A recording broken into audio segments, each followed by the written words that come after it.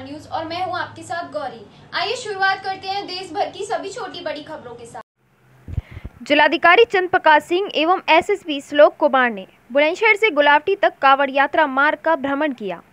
इस अवसर पर हरिद्वार से जल लेकर आ रहे कावड़ियों की सेवा के लिए गुलावटी में लगाए गए कावड़ शिविर में भी भ्रमण करते हुए की गई व्यवस्था का जायजा लिया गया।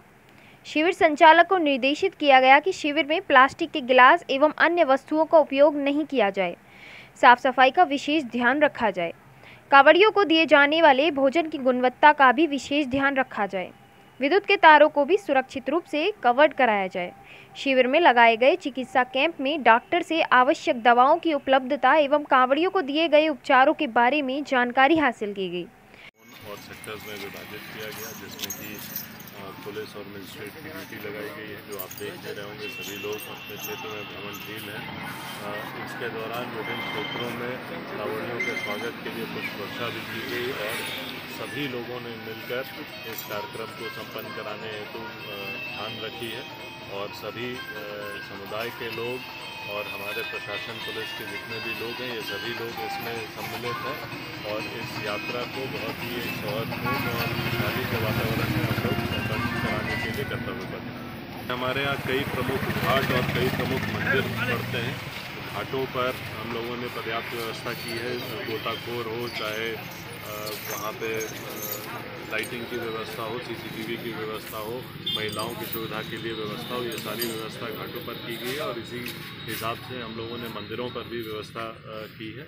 और हमें पूरा विश्वास है कि कल महाशिवरात्रि का पर्व और ये पूरे सावन माह का जो त्यौहार रहता है ये हम लोग बहुत इस अवसर पर हरिद्वार से जल लेकर आए कावड़ियों से भी संवाद कायम किया गया।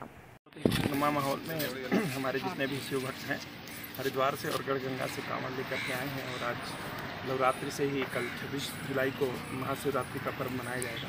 और बुलंदशहर में बहुत ही इसको हर्षोल्लास से मनाया जाता है।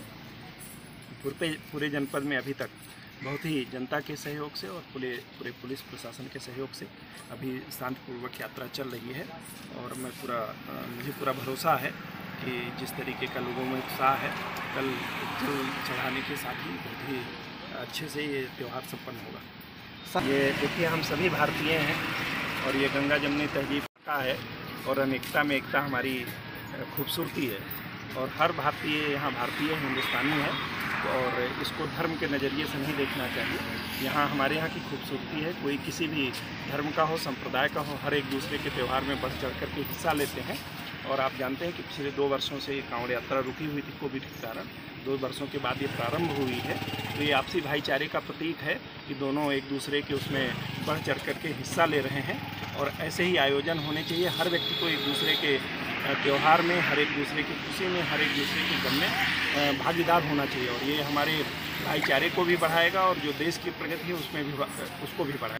इस खबर के प्रायोजक हैं सलीम बेंगल स्टोर। हमारे यहाँ हर प्रकार की चूड़ियाँ, कंगन, दुल्हन चूड़ा, थोक और रिटेल में उपलब्ध है। हमारा पता है काली नदी रोड, फूलवाली गली, फैसलाबाद, बुलंदशहर।